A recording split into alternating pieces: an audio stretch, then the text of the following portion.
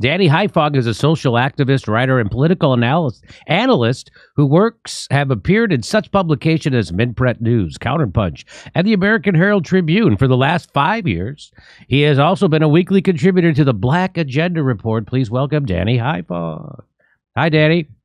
Hey, Jimmy. Thanks for having me. So I wanted to bring you on because you know about this. So I'm going to talk about. So, so Nancy Pelosi went to, to Taiwan. And the Chinese people did not like, the government did not like that. They delivered a stern warning to U.S. officials about House Speaker Nancy Pelosi, her possible visit to Taiwan. A foreign ministry spokesman said on Monday, confirming a report by the Financial Times the Financial Times report published on Saturday cited six people familiar with the Chinese warnings as saying they were significantly stronger than the threats that Beijing had made in the past when it was unhappy with the United States' actions or policy on Taiwan, which is claimed by China. The private rhetoric suggests a possible military response. Wow. Uh, they cited several people familiar with the situation. So the Pentagon, this is from the Business Insider, says Pentagon is prepared to protect Pelosi with fighter jets and ships if she visits Taiwan after China warned her not to. Can you effing believe this? This was from four hours ago, and that was now probably six hours ago. So why do I bring all this up? Well, because it's important. It says starting a war with uh, nuclear power. Ro Khanna, friend of the show, and fake progressive politician, says, Who are they to say that Speaker Pelosi shouldn't go to Taiwan? The Chinese Communist Party doesn't get to dictate the travel schedule of the Speaker of the House. Okay, you want to hear him say it? Here we go. On a different issue, Congress, have you, uh, President Biden has said uh, the U.S. military believes a Taiwan visit by the House Speaker Nancy Pelosi uh, is, quote, not a good idea right now. You sit on the Armed Services Committee. Should she call off this possible trip to Taiwan? Quickly. No, she should not. I respect Speaker Pelosi. I mean, we're not going to let the Chinese Communist Party dictate where the Speaker of the House should go. Uh, Taiwan is a economic partner with us. That doesn't mean that her going there is somehow not recognizing the one China, China policy. She should absolutely go and we need to speak out uh, on human rights issues in China, and we need to speak out about the trade deficit in China. So I fully support her going. But is it worth potentially, God forbid, provoking some sort of military response from the Chinese? Yes. They should realize that that would be the worst thing they could do. I mean, they've seen this president, our country's resolve uh, in Ukraine uh, with rallying NATO. They've seen the sanctions on Russia. I mean, they would cripple their entire economy. They are so dependent on the United States ha! in terms of uh, the trade that we have. So we shouldn't allow them to bluff and dictate to America, the greatest nation in the world. He said, "Don't let China, that nuclear power, bluff about threatening us ah. with military. Let's let's call their bluff. Let's start a war." Is what Ro Khanna just said. In case you were following along at home, he just said, "Let's call their bluff." the Chinese nuclear power and let's start a war. First Speaker of the House should travel. I mean, who are they to say that Speaker Pelosi shouldn't go to Taiwan? Congressman Ro Khanna, thanks as usual for joining. So let me bring in uh, Danny Haiphong. Danny, what, what would you like to say about this?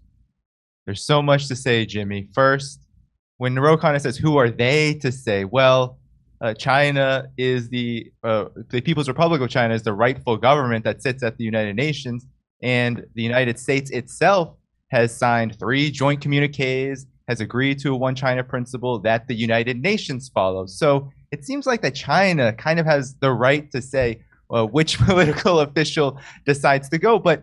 One thing that Ro Khanna is doing here is he's minimizing the fact that Nancy Pelosi is the third in command in Washington. If Joe Biden and Kamala Harris cannot uh, be president of the United States for some reason. Nancy Pelosi assumes that role. And so for Nancy Pelosi to just travel to Taiwan when there is all sorts of tensions around uh, so-called independence and separatism, the U.S. sending arms to Taiwan, billions upon billions upon tens of billions of dollars. There's a backlog of $14 billion alone since the Trump administration we, there's already been five arms sales deals that have occurred under Joe Biden to Taiwan. With all of these tensions, the third in command in DC going to Taiwan, talking to officials there independently of the People's Republic, seems to me, with warships, with uh, uh, military aircraft coming in, seems to me like a pretty big provocation toward China,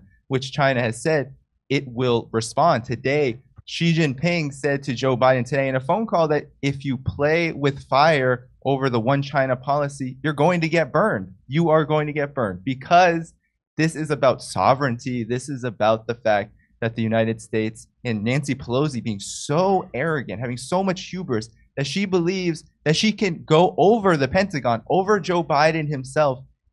And Ro Khanna here is just doesn't know anything. He's he's this is just stupidity to say that the sanctions on Russia and unifying NATO has worked. It has not worked. The United States is in an economic catastrophe. Europe is going toward a very cold and hard winter coming up because of the sanctions on Russia.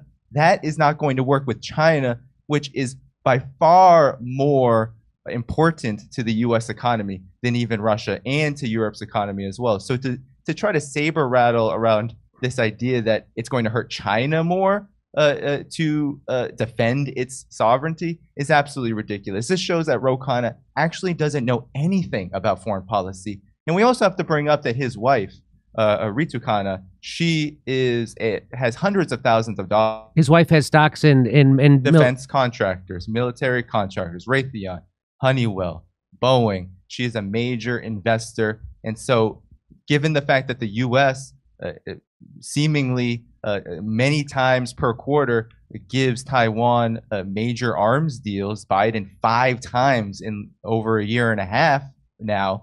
It seems that Ro Khanna is going along with this because it's it's both profitable and he is kiss he is kissing the feet of Mama Bear again, kissing the feet of Mama Bear. He said in the beginning of this interview, "I respect, I respect. Speaker Pelosi." Yes. Wolf Blitzer wasn't even asking him to I criticize know. Nancy Pelosi. He wasn't asking to criticize. He's just saying, don't you think it's it might be bad? Joe Biden is saying it might be a poor taste. It might cause problems. What do you think about that? He's not saying go criticize Nancy Pelosi, but yet he felt the need to say to, to uh, he respects respects Speaker Pelosi. Speaker Pelosi. What the f? Well, here's what some other people have to say about it. Caitlin Johnstone says the progressive Democrat is a myth. That's because of what I mean. He's he's he's saber rattling like the biggest warmonger in the world. That's what Joe Biden. I mean, that's what uh, Ro was doing. Here's what Michael Tracey says. He says if a politician or pundit makes a point to theatrically say Chinese Communist Party instead of Chinese government or China, it's because they're trying to stoke antagonistic passions in service of whatever confrontational policy they're trying to advocate. I didn't notice Ro did that, but I guess he did. Hey, dummy, nobody voted for you knuckleheads to start a conflict with China. That's in response to Ro Khanna. Ro Khanna would be the dummy. I say this as someone who's genuinely rooting for you, but what the F is your problem? the, uh, yeah, I mean, I was genuinely rooting for Ro Khanna until the CARES Act. All of them, Bernie Sanders, Ro Khanna, the squad, the CARES Act. That was that. It was over. Um, go here's Meet the Press. You want to see what Meet the Press does? This is the kind of stuff they do, Danny. Welcome back. In our final episode of this season's Meet the Press reports, we put together a remarkable war game simulation of how the U.S. might react if China invaded Taiwan. The National Security Think Tank Center for a New American Security, or CNAS, convened two teams. The blue team representing the United States and the red team representing China. Which side would prevail? Would China attack the U.S. mainland? Could nuclear war break out? The conflict takes place in 2027. There are three rounds of strategy, and I spoke to the game master after each round to see where the conflict stood. Here's a look. This is just good uh, Sunday afternoon TV. Hey, let let's fantasize about a nuclear war. Huh? How does it? How did it turn out? How'd that nuclear war turn out? That's because they're sponsored by the military-industrial complex. That's why they do that. More wars, more way more money. Go ahead, Dan. You want to you want to say anything about that? Well, the Center for New American Security has become a lucrative uh, slush fund a think tank for exactly as you said, the military industrial complex. Uh, Northrop Grumman Systems Corporation gives 500,000 plus dollars to this think tank, and the U.S. Department of Defense is also the uh, biggest funder of this think tank. So this think tank is literally peddling, not soft peddling. This is just hard peddling war with China, preparing the population. And we know who watches NBC. We know that it is uh, mainly the electorate, right? So preparing the electorate, those who are going to vote Democrat, to support a war, a nuclear war uh, with China, because there is no other war that could happen with China. There is no other one. All this military encirclement, any kind of provocation that would happen, uh, the United States, uh, this this is a, a, war without victory. Just like the war, the proxy war with Russia, is a war without victory. The United States and NATO, they're never going to come out of that with any kind of semblance of their objectives, right? The only thing that could happen is a major confrontation, a major confrontation that nobody wants. China doesn't want it, uh, all the world doesn't want it, and certainly, uh, if the vast majority of the population were to understand the circumstances beyond the anti-China rhetoric that we hear from the media and uh, the political class, uh, they also would not want uh, to become nuclear ju- dust just because uh, weapons contractors want to make profits and just because uh, the Pentagon wants to meet this uh, ridiculous objective of trying to contain and overthrow China. I mean, there there is Ro Khanna pretending to be a progressive politician and anti-war, and there he is bragging about how well the Ukraine war is going after he voted to give him fifty-four billion dollars. So Ro Khanna is on board with the Ukraine war, which is a bullshit war. And he used that to justify, look what we did to that. Look how good it's going over there. It's going horribly. And he says, let's do it. Let's let's call their bluff in China.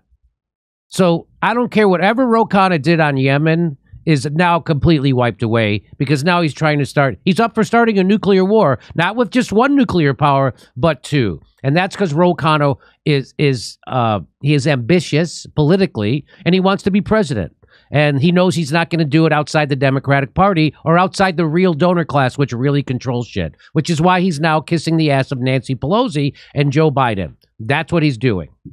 And that's why he's giving her respect. And that's why he's voting for their wars. And that's why he's supporting her going to Taiwan and trying to start a third world war. Uh, it's amazing. Uh, and so that would make him a transparent charlatan, pro war climber who's only interested in his own career and that's what Ro Khanna is. Um, I got no trouble saying that. I'd say it to his face any day of the week. That guy is a fucking scammer. Uh, anything you'd like to add to this? I mean, I was how slack-jawed were you when you saw Ro Khanna not only go along with this, but Ukraine too? It's just nuts. All of this was done in a short segment. This is just a couple of minutes on, on with Wolf Blitzer, uh, literally just peddling the Pentagon line on Russia and China. And it's, it, I mean, for me, I was, I wasn't surprised that he held these positions. I was surprised that he didn't understand at all the significance, the history, and, and the impact of what uh, this trip represents, what this potential trip could represent. Because he obviously hasn't done any research on what the one China policy is. He hasn't done any research on how significant this policy is to US China relations. He hasn't done any research on the fact that the United States has been militarizing the island of Taiwan as well as the entire region for years upon years upon years. He doesn't seem to care about that. What he cares about is scoring points, as you said, with his fellow Democrats and what Nancy Pelosi is doing. Uh, this is my theory about this. The reason why she's doing this, she's done this before, even to China in the early 90s. She went to China in 1991, and this is just three years after Tiananmen Square incident. She went there.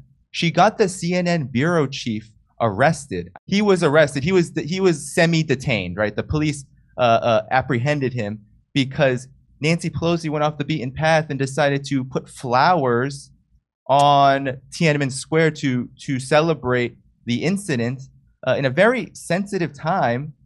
Uh, uh, uh and so she's done this before. It's all drama, it's all gestures, and it's all to win over not Democratic Party voters, not the left, it's to win over people like Mike Pompeo and Newt, Green, Newt Gingrich. That's who was singing Nancy Pelosi's praises over this potential trip. That's what she was doing in the early 90s with China. That's what she's doing now because the election is coming up and the Democratic Party strategy isn't to satisfy the constituents. It isn't to try to win them over. It's to win over all of the establishment forces, the corporate forces, the big tent that Hillary Clinton wanted in 2016 and got and lost. She is trying to do this again with Taiwan, a tough on China stance, right? We're tough on China. It doesn't matter that going this tough means you could end up in a military uh, situation that uh, the United States cannot handle and really the world cannot handle, right? So that I think is the stakes, and Ro Khanna doesn't understand that, which means that should frighten us, but also should show us that it doesn't matter uh, how progressive you are. If you're for Medicare for all and nuclear war for all, you're not a progressive. Yeah, I can't. Yeah, I, I would say so. I would say so. All right. Well, um, so tell tell people what the one China policy is. Sure. So the United States began uh, the the infamous Nixon uh, uh, uh delegation, where uh, the United States and China began the normalization process. The famous meeting: Nixon, Kissinger go to China, meet with Mao, meet with Zhou Enlai, and they began the process of normalizing relations. Because for 22 years beforehand, since 1949, the United States had a blockade on China. They prevented China from uh, entering the United Nations, and they also had an econo- economic sanctions on China. So the normalization process begins, and Taiwan is a huge question because the history of Taiwan at that time was the former government, what was called the Republic of China, founded in 1911.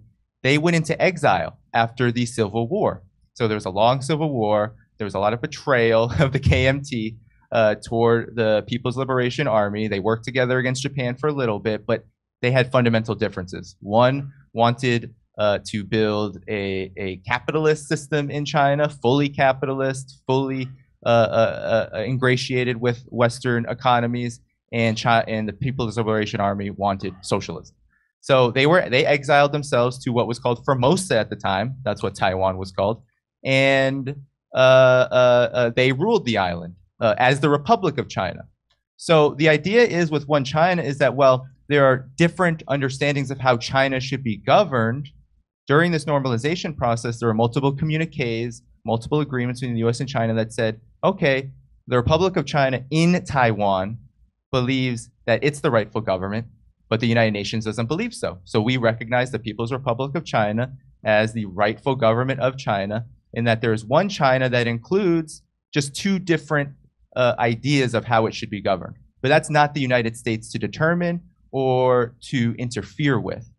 However, the US decided in 1979 to pass the Taiwan Relations Act, which said we can give arms to Taiwan whenever we want in order to quote unquote defend the island from China, from the mainland, from the People's Republic of China. And that was the loophole. So the one China policy has been respected in word and frequently violated indeed, although every presidential administration, including Joe Biden's, will say, we respect this policy because to not is a, is a war provocation. These were agreements about normalization.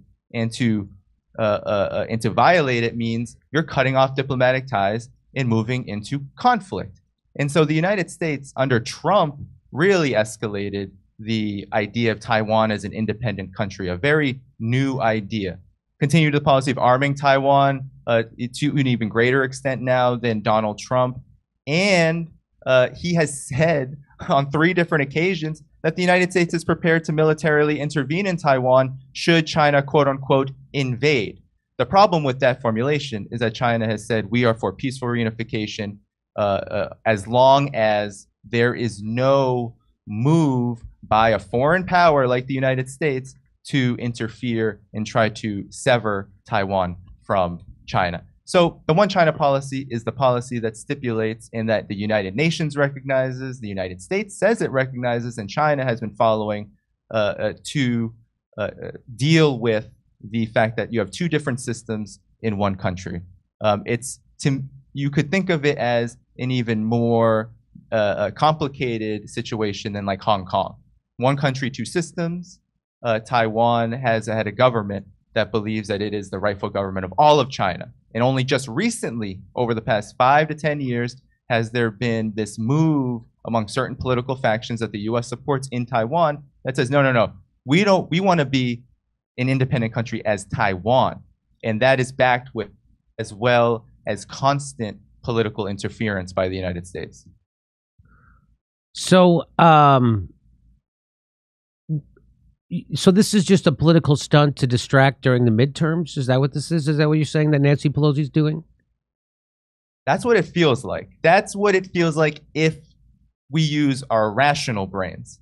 Now, for our irrational, for the irrational brains of the political and military establishment of the United States, I am sure. I mean, there are forces, right, that want to see this come to a head, that want to see a conflict. They wouldn't be arming Taiwan like this.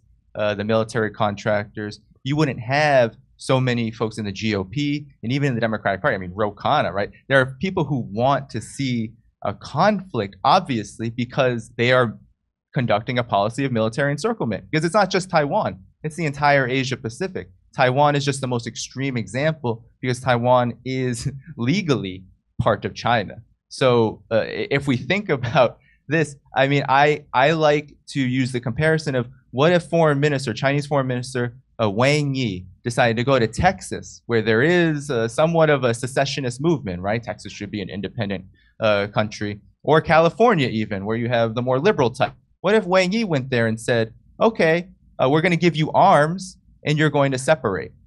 What would happen, right? Yeah. There would be a war in an instant. China has been very patient with a process that the United States has not been a good faith actor in because the 1982 joint communique, the third one that was signed by the United States, says the United States is to reduce its arms sales and it is to come to a final resolution over this and not sell more arms to Taiwan than it had the previous year. A fancy way of saying every single year you are reducing arms sales until they are zero. And then the United States in 1979 said, oh, well, uh, we have this act, and the United States has respected the Taiwan Relations Act way more than it has respected this joint communique. So the U.S. has been playing uh, uh, games with diplomacy in order to try to uh, build up toward a war with China.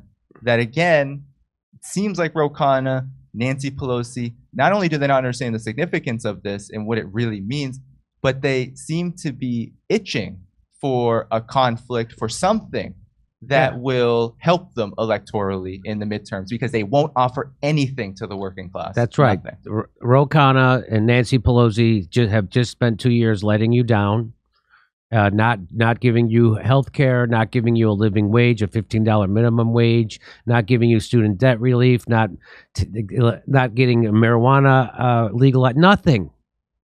Nothing. And so that's why Ro is like, hey, let's go pick a fight with China and start start a nuclear war. They better they better be smart and let us call their bluff. I bet they're bluffing. That's what Ro is saying right now on national TV. I bet they're bluffing about a war. Let's just go do it.